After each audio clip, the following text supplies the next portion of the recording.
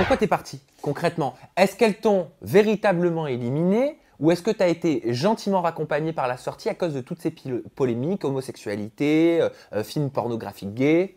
Alors euh, non, elles m'ont vraiment. La vraie raison de mon élimination, c'est vraiment l'élimination par rapport à tout ce qui s'est passé dans la villa. Je me sentais plus moi à ma place. J'avais du mal à aller devant les caméras. Je voulais, j'avais qu'une envie, c'était de rester dans mon lit et puis faire certaines séquences. Donc tout ce qui a été dit est faux, tu n'as pas été Donc, viré. J'ai pas été viré par la production. Elles t'ont bien éliminé. Oui, elles m'ont, euh, éliminé.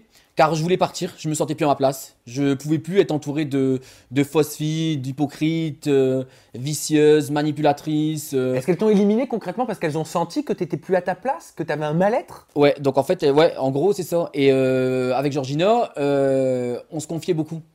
On voit peut-être pas l'écran, mais on était très proche avec Georgina. Et elle sentait que j'étais pas bien, que j'étais plus, euh, plus à ma place. Tu as eu une phase de dépression, hein, je crois. hein.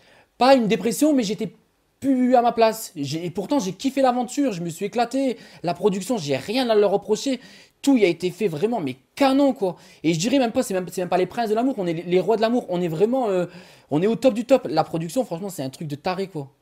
Et, euh, et voilà, j'ai rien à leur reprocher. Et puis non, l'élimination, elle s'est faite parce qu'ils ont senti que j'étais pas, j'étais plus à ma place. Mais Et pourquoi tu te envie- sentais plus à ta place? Bah, j'arrivais plus. Je suis quelqu'un qui est très vrai, très. euh, T'arrivais plus à quoi T'arrivais plus à, à- être toi-même devant les caméras? J'arrivais plus à être moi-même, j'arrivais plus à les supporter. Je suis arrivé à un stade où j'avais envie de leur rentrer dedans. Et, euh, et je voulais plus, je voulais pas montrer une sale image de moi, je voulais pas montrer le, le garçon qui s'énerve. Est-ce qu'ils t'ont éliminé parce que tu étais trop violent peut-être? Violent, je dirais pas, mais peut-être euh, pas très cool et pas très tendre envers elle. Parce que violent, c'est un gros mot. Violent, quand on dit violent, c'est il va le gifler, il va les taper et tout. Je suis pas arrivé à ce point-là, c'est juste que j'ai été assez, assez cash, assez direct et j'ai été assez euh, insultant aussi. Je veux dire la vérité, c'est oui, j'ai été insultant envers les filles. Au jour d'aujourd'hui, euh, mes deux prétendantes le méritaient pas.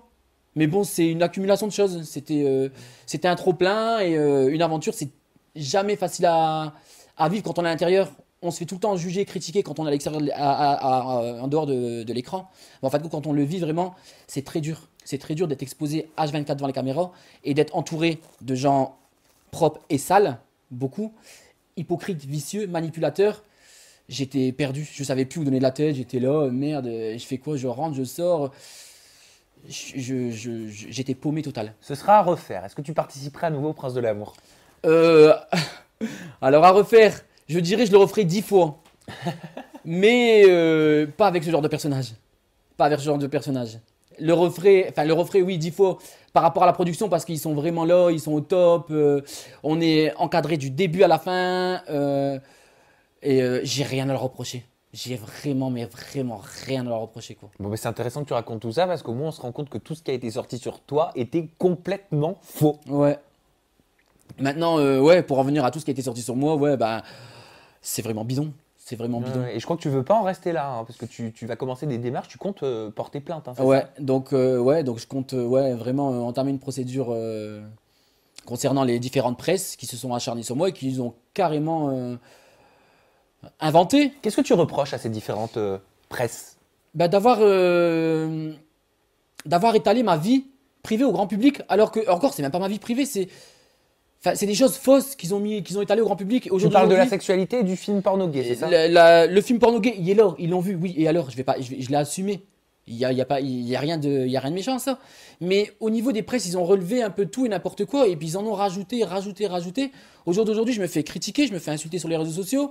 Euh, J'ai peur de me balader dehors. Donc tous ceux qui ont communiqué là-dessus, tu comptes euh, Ah ouais, lancer une procédure contre eux Ah ouais, direct. Là, mon dossier, il est préparé. pour diffamation. Ouais, donc euh, pour diffamation, peut-être pas parce qu'il y a quand même des faits réels sur certains propos, parce qu'ils Oui, relèvent alors pour quelle raison? Bah pour euh, atteinte à la vie privée.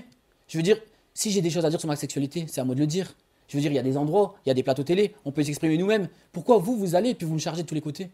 Je vous ai fait quoi? Vous me connaissez d'où? Quels sont tes préjudices aujourd'hui? Je crois que c'est pas évident pour toi au quotidien. Ben ouais, j'ai quand même 7 à 8 presses. 8 presses qui me, qui me euh, du matin au soir. Moi, quoi. je te parle de ton quotidien dans la vie de tous les jours parce que tu es arrivé à Paris à la gare et ça s'est très mal passé. Je crois. Alors ouais, donc euh, quand je suis arrivé à Paris, donc je me suis fait euh, enfin euh, harceler, harceler, agressé par des fans. Je dirais pas, il y a des fans gentils, des fans euh, assez agressifs et, euh, et hystériques. Qu'est-ce qu'ils t'ont fait? Donc ils me tiraient la valise, euh, ils me prenaient mon sac, fais une photo, fais une photo. Je dis mais non mais je, je remonter dans le taxi. Non non mais fais une photo, mais viens ici. Alors ils me tirent ma valise, moi je tire ma valise, mais je voulais monter, j'avais le téléphone dans la main, j'avais mon sac. Tu t'es fait insulter aussi Donc je me suis fait insulter, je me suis fait. euh, Il y en a un qui voulait me faire monter dans sa voiture, un, un couple de jeunes, il y avait une forte et un garçon, mais ils avaient l'air. Enfin, ils inspiraient pas confiance quoi. Ils m'ont dit viens, viens, viens, on va t'accompagner, prends pas le taxi et tout. Donc je me suis dit ah, mais qu'est-ce que je fais? Et puis ma valise elle partait par là, moi j'étais là, le téléphone et puis j'étais énervé par rapport à, la fatigue. Je je comprenais pas ce qui m'arrivait. Donc je suis rentré, je me suis caché à la gare et j'ai attendu.